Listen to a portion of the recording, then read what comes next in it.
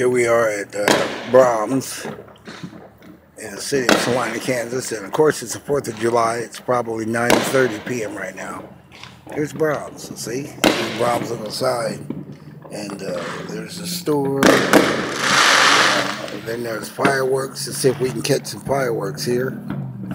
Yeah, there's there's some. If you watch them, you'll get a chance to see them. Just thought it'd be a nice little short little two minute or three minute video to show you what goes on in the wonderful city of Salina, Kansas, USA on the 4th of July, uh, 2020. Hmm. That way you can get a chance to see what goes on, you know. And of course, they're from all over the place. So that's a car lot over that way. And of course, going back, uh, let's see, looking down the street you're looking at right now, that's like I guess that would be considered uh, Ohio. Of course, you see that, you know, and uh, well, you know, one of the things about the Fourth of July, it gives people an opportunity to get together and have fun and express their feelings about uh, what the Fourth of July represents. And of course, you can hear all the fireworks going off and in the background, the music, and see them, and you know. But I, I think the Fourth of July represents a little more than that, especially with everything going on in our 2020 pandemic that we're going through right now. It's kind of, it's a little bit different. It's uh, you've got people out on the streets, and of course they're doing their thing in the yards and they're popping their fireworks and stuff.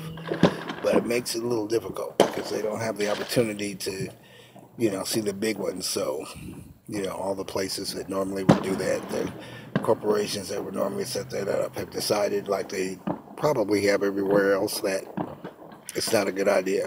Too many people gathering in one one place.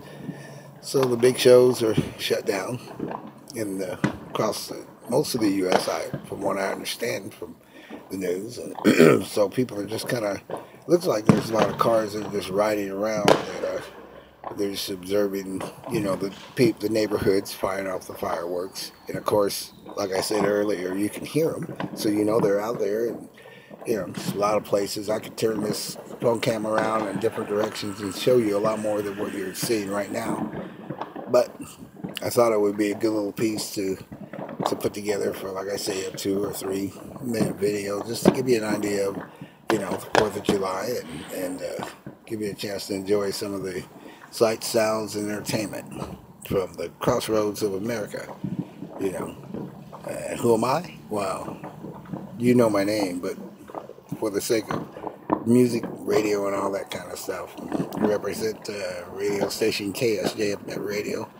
Uh, and uh, when we put this video on YouTube, like for those of you that will be watching it there, and for those of you that will be watching it on YouTube, it gives you an opportunity to kind of see what goes on and uh, kind of hear.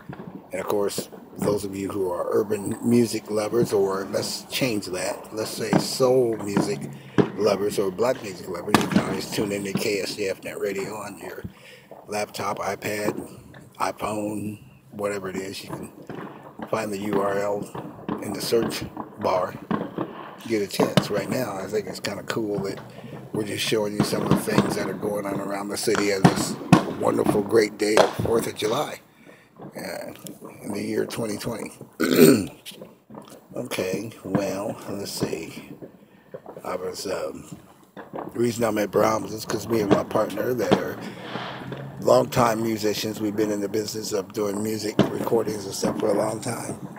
Since 1968, we've been best friends and uh, we're just here and getting some ice because we want to get a bag of ice so that we can cool out like that. But it seems to be taking him a long time. And I'm not really sure what it is, but he's, you know, it's it's getting there. And so sooner or later he'll be back. So, you know, I will get back with you and uh, give you an update pretty soon. In the meantime, enjoy the sights and sounds of the 4th of July.